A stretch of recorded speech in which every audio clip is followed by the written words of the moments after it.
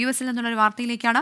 U എസിലെ ഫ്ലോറിഡയിൽ കനത്ത നാശം വിതച്ച മിൽട്ടൺ ചുഴലിക്കാറ്റ്. പത്ത് പേർ മരിച്ചു നിരവധി കെട്ടിടങ്ങൾ തകർന്നു. വൈദ്യുതി തടസ്സപ്പെട്ടതോടെ മുപ്പത് ലക്ഷത്തിലേറെ വീടുകളും ബിസിനസ് സ്ഥാപനങ്ങളും ഇരുട്ടിലായി. മധു കൊട്ടാരക്കര ന്യൂജേഴ്സിയിൽ നിന്ന് ചേരുന്നു. മധു എത്രത്തോളം വലിയ നാശനഷ്ടമാണ് റിപ്പോർട്ട് ചെയ്തിരിക്കുന്നത്? ഏറ്റവും പുതിയ വിവരങ്ങൾ. പ്രവിത ഇന്നലെ രാത്രി പ്രാദേശിക സമയം എട്ടരയോടുകൂടിയാണ് രാക്ഷസ കൊടുങ്കാറ്റ് എന്ന് വിശേഷിപ്പിക്കപ്പെട്ട മിൽട്ടൺ നിലം തൊട്ടത് സരസോട്ട കൗണ്ടിയിൽ ഫ്ലോറിഡയിലെ സരസോട്ട കൗണ്ടിയിലായിരുന്നു ഈ കര തൊട്ടത്. ഇതിനോടകം മരണനിരക്കുകൾ പതിനൊന്നായിട്ടാണ് സ്ഥിരീകരിച്ചിരിക്കുന്നത്. ഒരുപക്ഷെ അല്പം കൂടെ കൂടാനുള്ള സാധ്യതയുണ്ടെന്നും പറയപ്പെടുന്നുണ്ട്.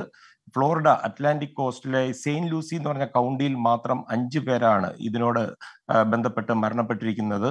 പതിനൊന്ന് മില്യൺ ആൾക്കാർ ഈ പുഴയിൽ നിന്ന് പൊങ്ങുന്ന വെള്ള വെള്ളത്തിലും മറ്റ് വെള്ളപ്പൊക്കത്തിന്റെയും ഏർ അപകട ഭീഷണി ഇപ്പോഴും ഉണ്ട് മുപ്പത്തിയഞ്ച് ലക്ഷം പേർക്കാണ് ഇത് ഏറ്റവും ഒടുവിൽ ഇന്ന് രാവിലെ പതിനൊന്ന് മണിക്ക് ലഭിക്കുന്ന കണക്കുകളനുസരിച്ച് വൈദ്യുതി ഇല്ലാത്തത്.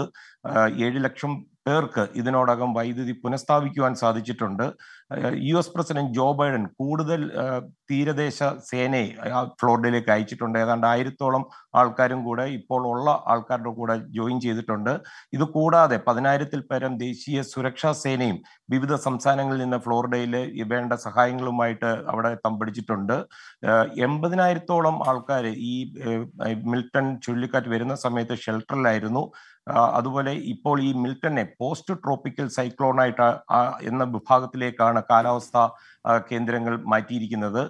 യു എസിലെ ഈ വർഷം ഇത് അഞ്ചാമത്തെ കൊടുങ്കാറ്റാണ് ഈ ഉണ്ടാകുന്നത്. ആദ്യം കാറ്റഗറി ഫൈവ് വരെ ഉയർന്നെങ്കിലും പിന്നീട് ഇത് നിലം തൊടുമ്പോൾ നൂറ്റി ഇരുപത് മൈൽ സ്പീഡിലായിരുന്നു പൊയ്ക്കൊണ്ടിരുന്നത്. കാറ്റഗറി തീ കാറ്റഗറി ത്രീയിലേക്ക് മാറുകയും ചെയ്തിരുന്നു പ്രവിത. ശരി. മധു കൊട്ടാരക്കരയാണ് വിവരങ്ങൾ നൽകിയത്.